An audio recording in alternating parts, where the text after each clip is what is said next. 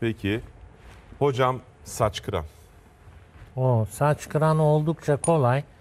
Ee, biliyorsunuz bunu berberler yapardı. Eskiden hala yapanlar var. Yani e, sarımsak sürerler oraya. Yapacağınız şeyi söyleyeyim. Sarımsak yağını alıp şu pamuklu ucu Kulak çu- kulak çöpleriyle ıslatın. Oraya hafif böyle tahriş eder gibi çok da bastırmadan sarımsak yağı e, sonra üzerine e, çörek otu yağı e, süreceksiniz. Günde iki defa bunu yapın. Evelallah e, bir şeyiniz kalmaz. Şey de çok etkilidir. Alkolde çözünmüş propolis. Evet hocam. Evet. Bir tek onu da kullanabilirsiniz.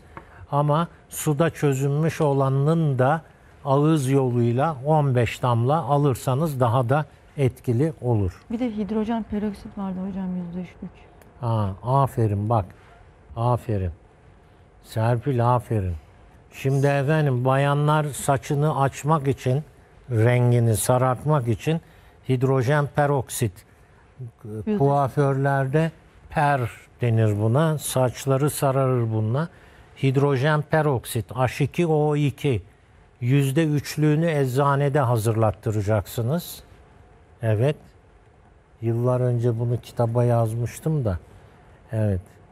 Ve gene o çöple ıslatacaksınız. Sabah öğle akşam veya öğlen akşam günde iki defa da olur. Sabah akşam da olur. Süreceksiniz. Evet.